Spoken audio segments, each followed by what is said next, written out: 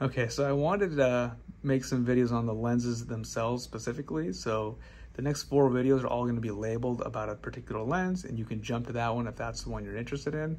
Um, and if you have any particular questions or concerns that are more specific to your situation, just call my office. I'm happy to talk to you to help you figure out which one would uh, be right for you. Um, that being said, the first lens I always talk about is the standard lens. And I talk about that one first because that's the base option. Everyone's a candidate for the standard lens. Uh, when we do cataract surgery, you have to have a lens placed back in its place, um, and this is the one that anyone can get. The upside of the standard lens is one, it's a great lens. Uh, you shouldn't feel pressured to do anything beyond just a standard lens.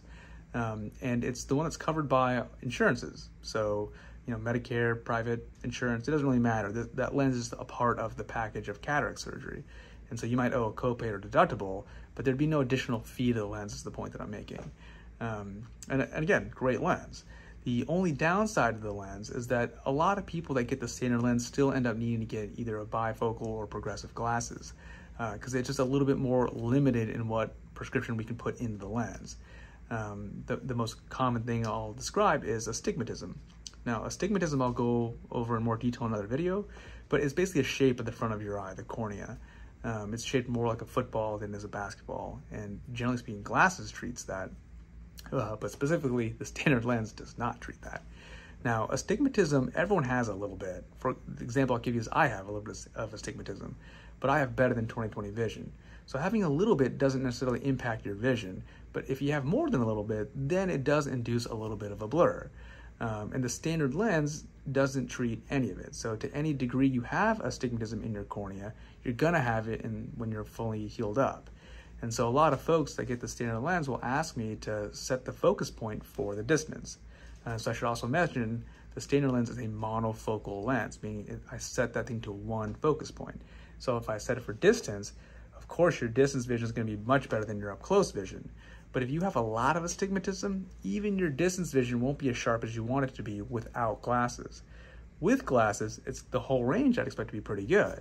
Um, but that's the key, is that with the standard lens, a lot of folks still end up getting bifocals or progressives if you prefer the no line type of that. But the point is that even if I take that lens and set it for distance, you may still need glasses in the distance to get your sharpest vision. I will also say not everybody does. There are some people that um, when I look at the measurements, it shows enough astigmatism where I expect a blurriness even when I set the lens at distance. But then I do the surgery and the patient themselves feel like they don't need glasses. Well, that's great. I'm happy for that patient. They, they're just going to get readers afterward. But um, I certainly would not be able to guarantee that because the numbers suggest one thing out of that. Um, and that highlights a second point. People are different. There are some patients that see maybe 2025 or 2030 with that standard lens implant and that is legally good enough to drive without glasses in the state of Texas. That's sort of a big benchmark we use for distance vision, if you will.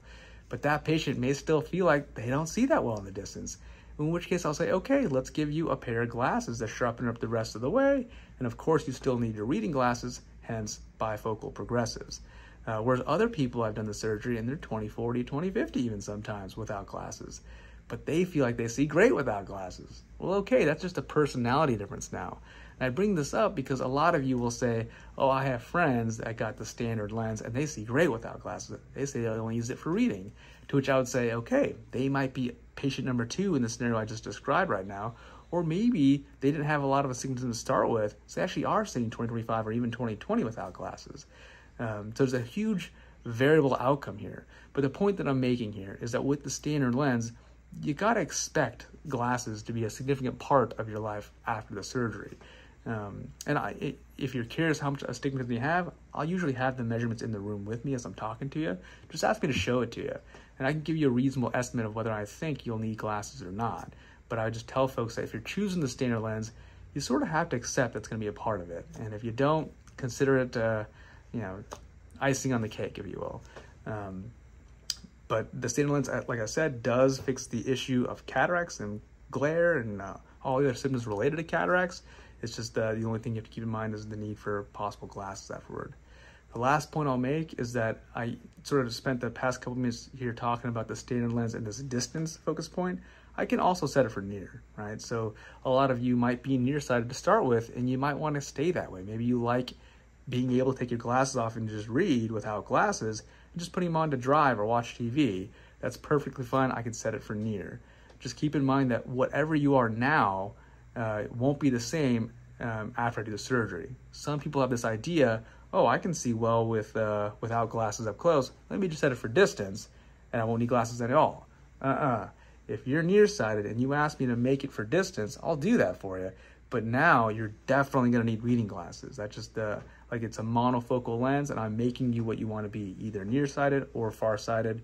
And then again, if you have a, astigmatism, kind of a moot point, because I'm going to give you glasses for both when you're all healed up, or your optometrist would. Um, hopefully that all made sense. Please, again, lots of questions are welcome because I want to make sure you understand all this before you choose a lens that is going to stay with you going forward. All right. So the next video will be about the toric lens.